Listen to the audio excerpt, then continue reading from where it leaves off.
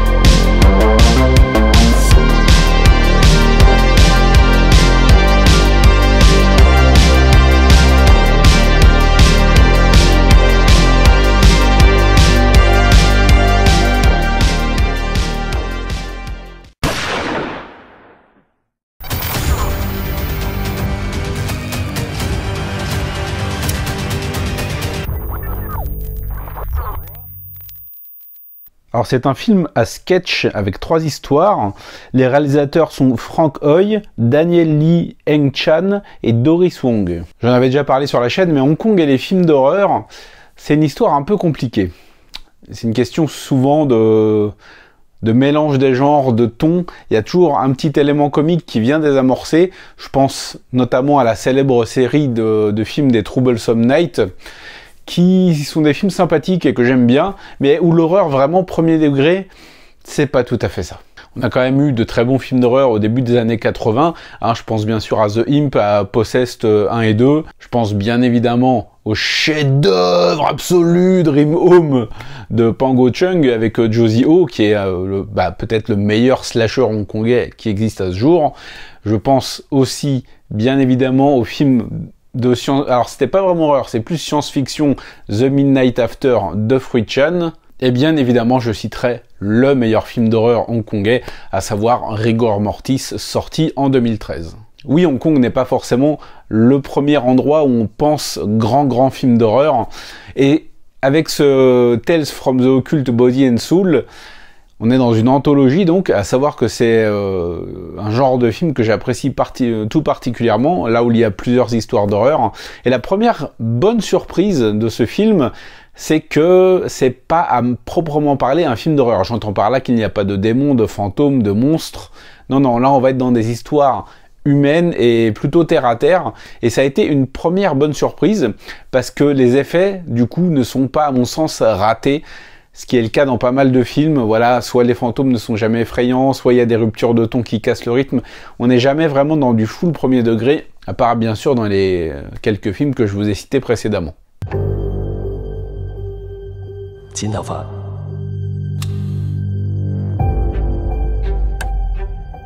On va donc suivre trois histoires et la première nous met en scène un coiffeur euh, serial killer, voilà, qui euh, capture les jeunes femmes qui viennent se faire coiffer pour les scalper et recueillir leurs cheveux.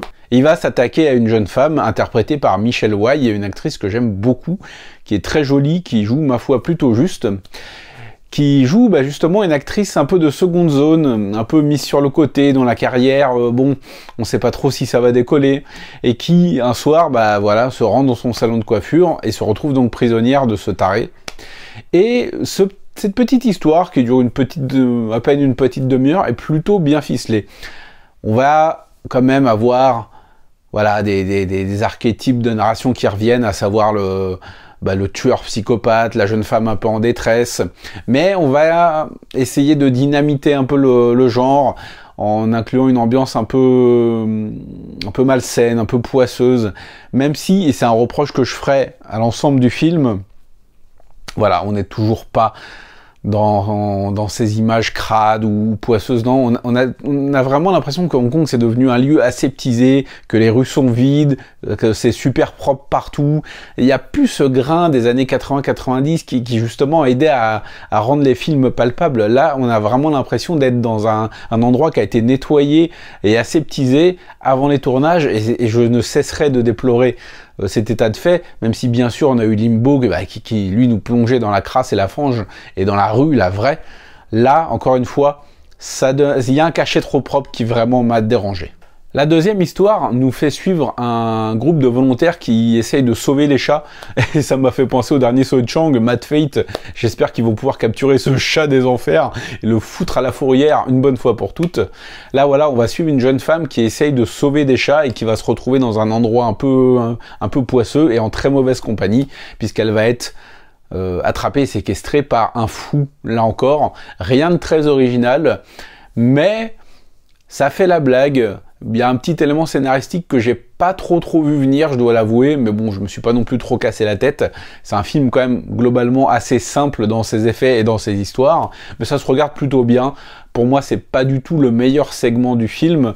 Je pense que je dirais je, les ai aimés tous les trois, mais il n'y a rien de, grandiose, rien de grandiose. Vraiment, c'est un petit film fait pour les après-midi pluvieuses et ça se regarde sans déplaisir, mais il n'y a rien de fou, que ce soit dans la narration, que ce soit dans l'acting, que ce soit dans la mise en scène. C'est assez impersonnel malheureusement. Et on s'attaque avec la troisième histoire à un nouveau corps de métier puisqu'on va suivre cette fois-ci un dentiste qui harcèle un peu sexuellement une de ses employées. Une employée qui va rencontrer dans la rue un jeune homme qui semble un peu perturbé mentalement. Là aussi c'est plutôt sympa, ça casse pas des briques, mais ça titille suffisamment la curiosité pour être un petit peu intéressant. Il n'y a rien de fou, encore une fois, c'est assez lisse malheureusement. C'est vraiment le reproche que je ferais à tout le film. C'est assez lisse, assez propre, ça prend pas de risque. C'est un peu ce, vous savez, ce, genre de film d'horreur un peu familial où on peut, on peut regarder avec toute la famille. Il n'y aura pas vraiment de, de scènes choc ou malaisantes. Même si là, il y a quelques scènes avec euh, des soins dentaires qui font très vaguement mal. Mais globalement, c'est vraiment un film assez formaté pour la famille. C'est un film qui va essayer un peu de surprendre le spectateur avec des petits retournements de situation, avec des petites pointes de mystère. Vu que ça joue pas vraiment sur, ça joue même pas du tout sur le fantastique ou sur le côté euh, horreur pure avec des fantômes ou des spectres. Oui, ça essaie de faire un peu la blague. Et j'ai regardé ça avec sympathie, je sens que ça essaye d'être un bon film, mais c'est pas vraiment le cas. Et je me suis pas suffisamment ennuyé pour dire que c'est vraiment de la merde. Voilà, c'est un petit film à sketch qui se passe à Hong Kong. Hong Kong n'est encore une fois pas exploité selon moi, c'est vraiment vraiment dommage. On dirait que les réalisateurs ne, ne, ne, savent plus filmer leur ville, ne savent plus donner un grain, une identité. Là, vraiment, ça pourrait se passer aux États-Unis, à New York, à San Francisco, euh, à Bruxelles, partout. On sent pas qu'on est à Hong Kong, on sent, on sent pas cette l'énergie de la ville. Là, c'est c'est fade. Après, beaucoup d'histoires se passent la nuit, assez tard, donc forcément les rues ne sont pas blindées. Mais comme je l'ai dit, voilà, c'est trop propre, c'est trop sage, ça manque d'un bon grain de folie. Là, c'est sympa sans plus, quoi. Et c'est vraiment dommage. Bref, Tales from the Occult Body and Soul, j'ai pas détesté, j'ai pas adoré, c'est assez lambda. Je vous en parle parce que ça faisait quand même longtemps que j'ai pas parlé du cinéma de Hong Kong. Et voilà, c'est une petite sortie qui est sortie en 2023.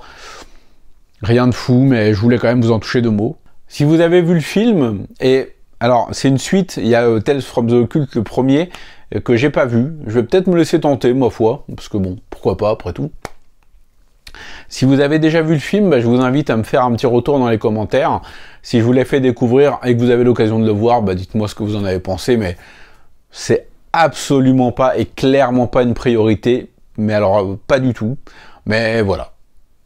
Quant à nous, bah écoutez, on se retrouve très prochainement pour parler de cinéma asiatique, parce que vous savez que ça déchire. Ciao